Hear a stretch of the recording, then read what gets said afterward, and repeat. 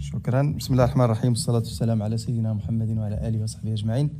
حضرات السيدات والسادة الرجال ونساء الصحافة سعيد باللقاء بكم في هذه الندوة الصحفية التي تنعقد مباشرة بعد اختتام أشغال المجلس الحكومة. انعقد يومه الخميس 30 شوال 1445 الموافق ل 9 مايو 2024 مجلس للحكومة برئاسة السيد عزيز أخنوش خصص للتداول في عدد من مشاريع النصوص القانونية. وفي بداية أشغال هذا الاجتماع تداول مجلس الحكومة. وصادق على مشروع المرسوم رقم 223 1143 بتحديد تأليف واختصاصات اللجنة المعنية بتنفيذ مهام المندوب العام لإدارة السجون وإعادة الإدماج.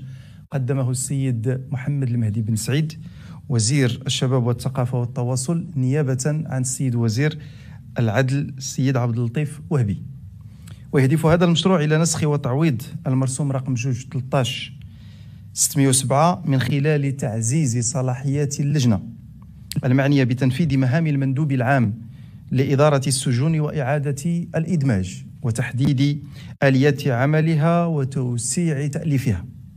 ويتضمن هذا المشروع مستجدات تهم بالأساس إغناء تركيبة هذه اللجنة بإدراج قطاعات ومؤسسات وهيئات جديدة غير ممثلة في تشكيلتها من قبيل رئاسة النيابة العامة المجلس الأعلى للسلطة القضائية وبعض القطاعات الأخرى والمؤسسات التي لها دور أساسي في تأهيل السجناء وإعادة الإدماج كمكتب التكوين المهني وإنعاش الشغل والوكالة الوطنية لمحاربة الأمية والتعاون الوطني. ومؤسسة محمد السادس لإعادة إدماج السجناء. بالإضافة إلى مستجدات تتعلق بالتحديد الدقيق لمهام اللجنة وتكريس المساهمة الفعلية لقطاعات والمؤسسات المكونة, المكونة, المكونة لها في تنفيذ اختصاصات المندوب العام. والرفع من مستوى تمثيلية اللجنة على أن تكون تمثيلية القطاعات والمؤسسات المكونة لها من درجة مدير مركزي أو, ما أو, من, أو من يمثله. بعد ذلك تداول مجلس الحكومة وصادق على مشروع المرسوم رقم 223 1192 بتحديد كيفية اعتماد الهيئات التقنية في مجال الحماية من الإشعاعات النووية. عفوا من الإشعاعات المؤينة. قدمته السيدة ليلى بن علي وزيرة الانتقال الطاقي والتنمية المستدامة.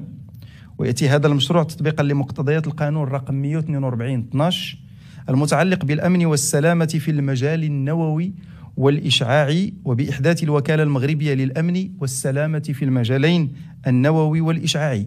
ولا سيما المواد من 127 إلى 134 والمادة 173 منه.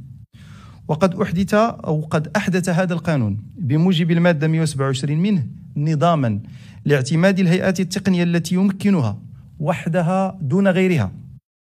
من عرض الخدمات التقنية في المجالين النووي والإشعاعي ويأتي مشروع هذا المرسوم لتحديد شروط وكيفيات منح الاعتماد المذكور للهيئات التقنية وتعديله وتجديده وتعليقه وسحبه ولتحديد طبيعة المعلومات التي يتعين على الهيئات المعتمدة أن تبعثها إلى الوكالة المغربية للأمن والسلامة في المجالين النووي والإشعاعي بصفة منتظمة وتتميم قائمة الخدمات التقنية الخاضعة للاعتماد. وتابع مجلس الحكومة أشغاله بالتداول والمصادقة على مشروع المرسوم رقم 223 169 بتتميم المرسوم رقم 208 573 الصادر في جوج محرم 1430 30 ديسمبر 2008 بإحداث أجرة عن الخدمات المقدمة من قبل وزارة الاتصال المعهد العالي للإعلام والاتصال قدمه السيد محمد المهدي بن سعيد وزير الشباب والثقافة والتواصل. ويأتي هذا المشروع بالنظر للحاجة الماسة للخدمات ذات الصلة بالتكوين والتكوين المستمر. التي ما فتئت تعبر عنها مكونات مجال الإعلام والاتصال ببلادنا في ظل التطور المضطرد لمهام وخدمات هذا هذا المجال. وبالنظر لكون هذه الخدمات من مهام المعهد العالي للإعلام والاتصال بصفته من مرافق الدولة المسيرة بصورة مستقلة والتي تتطلب أن يقوم بها في إطار علاقة تعاقدية مع شركائه. وهو ما يستلزم ملاءمة إطاره التنظيمي بما يستجيب لهذه الحاجيات. ويهدف هذا المشروع إلى ترسيم إسناد قبض الأجرة من الخدمات التي يقدمها المعهد وذلك من خلال تتميم المرسوم السالي في الذكر رقم جوج صفر 8 573 بمادة ثانية مكررة تحدد مسطرة قبض الأجرة عن الخدمات طبقا لأحكام المرسوم الملكي 330 66 بسن نظام عام للمحاسبة العمومية استنادا إلى قوائم التصفية التي يعدها عند حلول أجلها المعهد العالي للإعلام والاتصال بعد ذلك تداول مجلس الحكومة وصادق على مشروع المرسوم رقم جوج 22 1075 يتعلق بمنح بطاقة شخص في وضعية في وضعية إعاقة. أخذا بعين الاعتبار الملاحظات المثارة. قدمته السيدة عواطف حيار وزيرة التضامن والإدماج الاجتماعي والأسرة. ويأتي هذا المشروع تفعيلا للقانون الإطار رقم 97 13 المتعلق بحماية حقوق الأشخاص في وضعية إعاقة والنهوض بها حيث سيتم اعتماد مبدأ التدرج في تنفيذ مقتضياته. وسيدخل حيز التنفيذ في مرحلة أولى ببعض الأقاليم أو العمالات على أن تعمم أحكامه على باقي تراب المملكة من خلال قرارات مشتركة للسلطات الحكومية المعنية. شكرا لكم. كان هذا نص البلاغ. نأخذ الأسئلة. أه، سيد الوزير أه، صباح النور. أه، السؤال ديالي الأول يتعلق الأول؟ أو سؤال سؤال يتعلق. تفضل. هو المساعدة ديال بالنسبة للسكن البيئات المتوسطة لحد الآن 8000 فقط من الطلبات قد تم الإجابة عليها نعم. بإيجاب ولكن أمام 60 ألف طلب لماذا هذا العدد هو القليل؟ ماذا كيف تفسرون؟ هذا البرنامج لا زال في انطلاقته. ويخصه مزيد من النضج. ما هي المشاكل ديالو؟ والسؤال الثاني هي السيده آه، عواطف حيار يخص هذه البطاقة المهنية.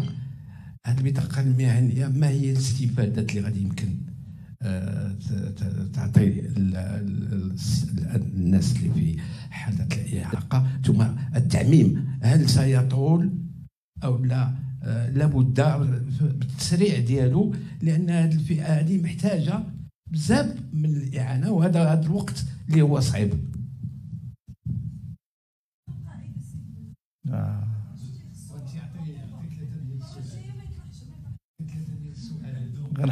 غنحيدوا له ذاك الحق ديال الأسبقية الأول كان كنضحك ما غنحيدوا حتى حاجة أه، السلام عليكم أه، قمر خائف الله من موقع بلادنا 24 أه، في ظل الجدل العالمي حول لقاح استرازينيكا وتداعياته على صحة الإنسان. رفضت الحكومة رفضت الحكومة مناقشة التداعيات على المواطنين المغاربة أمام البرلمان. وكيف كنعرفوا على غرار باقي دول العالم استعمل المغاربة ملايين الجرعات آه، من هذا اللقاح. وشيء طبيعي أن الحكومة تخرج بتفسير الإجابة على آه، تساؤلات ومخاوف آه، المواطنين خصوصا وأن الشركة أعطت معطيات خطيرة بخصوص تداعيات اللقاح. يعني شنو هو السؤال شنو هو التعليق ديال الحكومة حول هذا الموضوع؟ السلام عليكم سيد الوزير. سؤالي حول التبرير اللي وضعته الحكومة حول منع أو وقف الدعم الاجتماعي لبعض الأسر بأن هناك غش. يمكن أن يكون هذا التبرير يعني صحيح في بعض الحالات لكن هناك حالات يعني في حالة مزرية ولم تستفيد ابتداء وهناك حالات يعني عند التواصل بالمنصة يعني بالرقم الموضوع مع مع الإشارة أن هناك صعوبة يعني يعني كي يعني المواطن كيجد صعوبة في التواصل مع هذه الأرقام. لأن ما كاينش هناك مكتب اللي يمكن المواطن ليه باش يسأل الحالة ديالو. هنا يعني لم كيخبروه بأن الوضعية ديالو سليمة وقانونية ورغم ذلك لا يتوصل يعني بالدعم وشكرا. مصطفى الحجري موقع نيشان. آه، الحكومة تعهدت بتسريع عملية تفويت 33 ألف وحدة من المساكن الوظيفية. بغينا نعرفوا فين وصلت هذه العملية. السلام عليكم سيد الوزير. أه سؤال السيدة الوزيرة. أه احتج أول أمس عشرات من ذوي ذوي الإعاقة ضد عدم استفادتهم من مشروع تاميم الحماية الاجتماعية بسبب عدم وضع أه أي مؤشر للإعاقة واحتسابها كمؤشر للفقر. ما تعليقكم سيد الوزيرة؟ السيد الوزير مساء الخير. المواطنون يتابعون ما يجري في أسواق آه، الأضاحي. البعض يتخوف من ارتفاع الأسعار البعض يقول أن بعض الأضاحي المستوردة ربما قد لا تلائم البيئة المغربية. نود أن نعرف مستجدات في هذا الملف. وشكرا. شكرا. سيدة الوزيرة تفضل. ستقوم سيدة الوزيرة بالجواب على الأسئلة ذات اللي عندها علاقة بالقطاع. على أن أتولى الإجابة على الأسئلة ذات الطبيعة العامة. تفضلي سيدة الوزيرة. شكرا جزيلا. السلام عليكم. إذا آه، كما تمت الإشارة تمت اليوم المصادقة على مرسوم جوج 22 1075 المتعلق بمنح بطاقة شخص في وضعية إعاقة واللي تيجي تنزيلا ل أو تفعيل لأحكام القانون 97 13 آه، خاصة آه، المادة 23 وهذا يشكل إصدار هذا المرسوم. لحظة تاريخية فارقة لأن آه، أول مرة يعني أو لحظة تاريخية فارقة في تعامل التشريع الوطني مع آه، وضعية الأشخاص في وضعية إعاقة. وكان آه، أول مرة نص تم التنصيص على البطاقة كان في ماي 1982 يعني أزيد من 42 سنة. وكان ذلك في إطار القانون المتعلق بالرعاية الاجتماعية للأشخاص المكفوفين وضعاف البصر. كان ثاني مرة التنصيص هو في إطار القانون اللي صدر سنة 1993 واللي آه، هو القانون الرعاية الاجتماعية للأشخاص في وضعية اعاقه بالإضافة طبعا للقانون 97 13 اللي كانت نصيص فيه في المادة 23 على بطاقة شخص في وضعية اعاقه اذا هذه واحد واحد اللحظة التاريخيه اللي جات في إطار تنفيذ التوجيهات الساميه ديال صاحب الجلاله الملك محمد السادس نصره الله والعناية الكبرى التي يوليها لهذه الفئة والنهوض بحقوقها وأيضا في إطار آه، آه، مواكبة الورش الملكي للحماية الاجتماعية وفي إطار آه، تفعيل مقتضيات دستور المملكة الفصل 34 طبعا وعدد من ال يعني ال الإشارات لحقوق الأشخاص في وضعية إعاقة. وأيضا في إطار تفعيل التزامات بلادنا على المستوى الدولي خاصة الاتفاقية الدولية لحقوق الأشخاص في وضعية إعاقة. ووفاء بالتزامات البرنامج الحكومي 2021 آه، 2026 اذا في هذا الإطار ينبغي الإشارة إلى أن آه، الحكومة الحالية كانت لها واحد الإرادة قوية من أجل الاشتغال على إصدار هذه بطاقة الإعاقة وكان الاشتغال مع جميع القطاعات المعنية. آه، وقمنا منذ سنة 2022 ب اولا يعني وضع نظام لتقييم الإعاقة حسب الجايد لاين يعني حسب متطلبات منظمة الصحة العالمية وفي إطار مقاربة تشاركية كما قلت مع جميع القطاعات المعنية ولكن أيضا مع المجتمع المدني. ومن بعد هذه الفترة كان اشتغال على المنظومة آه، الإلكترونية اللي غتمكننا من إصدار بطاقة الإعاقة. إذا هذه البطاقة ديال الإعاقة باش نجاوب السؤال ديالكم. اولا غادي تكون آه، تنزيل آه، وتمت الإشارة ليه في واحد بعض الأقاليم في جهة تنزيل نموذجي في واحد الجهة للإحاطة بجميع الإكراهات ومن أجل إنجاح تنزيل ديال هذا البرنامج وأيضا سيتم تعميمه فيما بعد في جميع الجهات. اذا الخدمات طبعا هي آه، الخدمات آه، آه، اللي منصوص عليها في حقوق الأشخاص في وضعية إعاقة فيها الخدمات الصحية فيها الخدمات الاجتماعية فيها الخدمات الشبه الطبية الشبه الطبية عدد من الخدمات. لكن اللي خصنا نعرفوا غيكون تنزيل طبعا بصفة تدريجية. وحتى أجيب الأخت اللي سولت على يعني بالنسبة للأشخاص في وضعية إعاقة اللي نحن جميعا متضامنين معهم. وهذا علاش تيبان لكم هاد الحكومة اشتغلت بواحد القوة وبواحد يعني آه، آه، في ظل التوجيهات والعناية السامية ديال صاحب الجلاله نصره الله باش يتم الاخراج ديال هذه البطاقة اللي كينتظروها الأشخاص ذوي الاعاقه أكثر من 40 سنة. فإذا كان واحد المجهود جبار لأننا واعيين بالمعاناة ديالهم وحاسين بها. ف آه، طبعا ال ال يعني ال ال آه، كتكون هناك بعض ال بعض ال إحنا قمنا بواحد المقاربة تشاركيه مع جميع آه، الجمعيات وتيكون من حقهم أنهم يعني كيعبروا على المطالبه بحقوقهم فهذا متفهم. لكن اللي نبغي نقول الإجابة أن هذا يعني ال الوقفة اللي كانت من أجل إصدار واحد المعيار باش يخلينا نعرفوا الوضعية ديال الأشخاص ذوي إعاقة للاستفادة ديالهم من هذه الخدمات.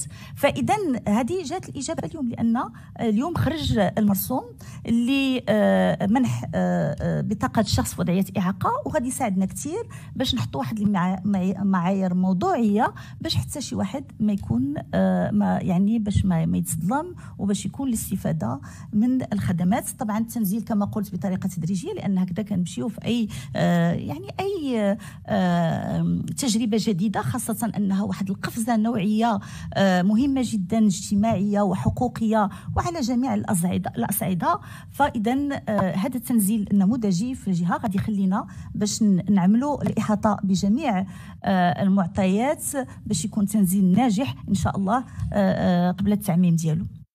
شكرا.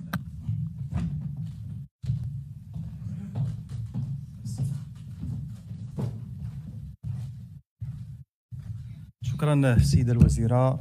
على المشاركة والإجابة على أسئلة السيدات السادة رجال ونساء الصحافة.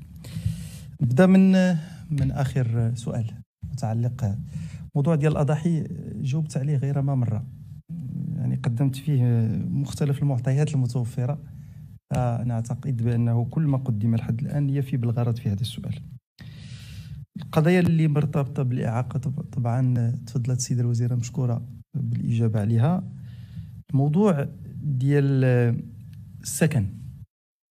موضوع ديال السكن بالفعل الوزارة المعنية عبر المنصة توصلت بحوالي 64 ألف 65 ألف طلب.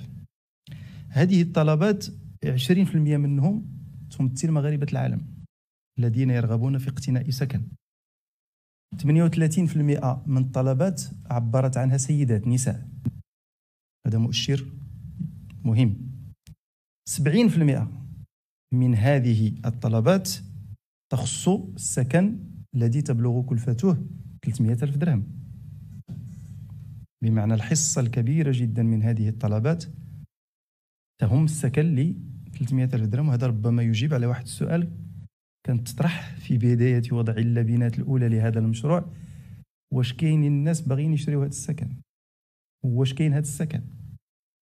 90% من هذه الطلبات هي طلبات مقبولة دابا نسات 8000 8000 هاد الناس توصلوا بالجواب.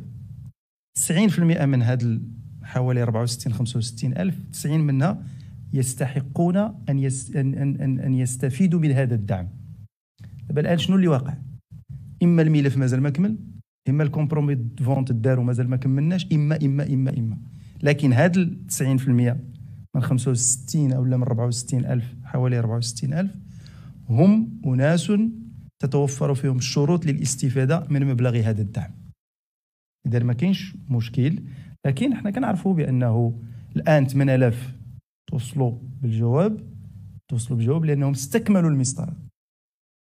ولكن 90% من هذا العدد راه تستفيد. و90% من 65 ولا 64 راه حنا تقريبا في حدود واحد 50 ألف. معناه بأننا راه مشينا الآن في هذا التوقيت اللي إحنا فيه الآن في شهر ماي. إحنا تقريبا حققنا نصف 50% من الأهداف المشروع. إحنا كنتكلموا على 110 ألف سكن في راس هذه السنة هذه. واحد 10 المليار 9.5 تقريبا 10 المليار ديال الدرهم. اذا المشروع يسير بخطى مهمة جدا وإن شاء الله غادي نكونوا في الأهداف اللي رسمتها الحكومة. بخصوص السؤال اللي مرتبط باللقاح اللي عنده علاقة بالبرلمان الحكومة ما عندها حتى مشكل تمشي للبرلمان تتكلم في مختلف المواضيع. لكن البرلمان الآن تيصوب المكاتب ديال اللجان يمكن نكملوا منين غت منين غتكتمل هاد ال... هاد اللجان هادي وتبدأ تشتغل؟ الحكومة راه كتمشي تناقش مختلف القضايا كيفما كان نوعها. ما, ما كاينش زعما هذا موضوع وهذا موضوع وهذا موضوع.